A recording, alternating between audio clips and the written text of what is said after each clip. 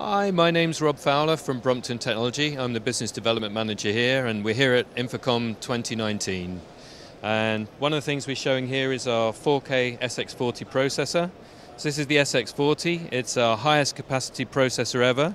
One of the big problems with the, uh, the ever reducing pixel pitch is the sheer number of pixels we're driving, which means that uh, it's more and more cable on these major shows to, uh, to drive all those panels. So our approach to neatening that up has been to go to 10 gig fiber.